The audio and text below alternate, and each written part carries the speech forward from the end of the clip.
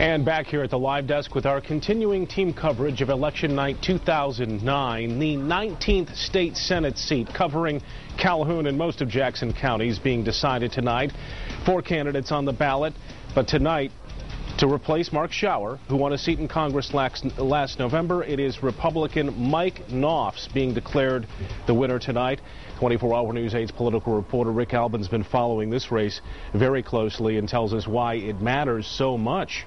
On one hand, it's important because it is a seat that goes from Democrat to Republican. But remember, in Calhoun County particularly, they have a bit of a history for that. Joe Schwarz, a Republican, had this seat before Mark Schauer. They've had three different U.S. congressmen in that district in three different cycles. And one of the House seats down there has switched from Democrat to Republican, back to Democrat. So all of this is a little changeable in the area. But here's the big news. In one year, one year from tonight, we'll be talking about all 38 of those Senate seats and 110 House seats that will be up for a vote.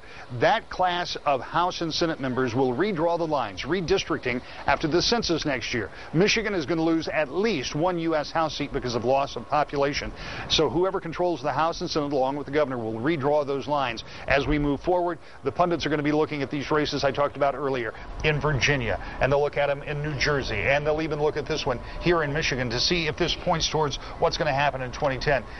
But the real story is this is kind of like a poll. It's a snapshot of a moment in time. A lot will happen between now and next year's election. All right, Rick. Thank you for that.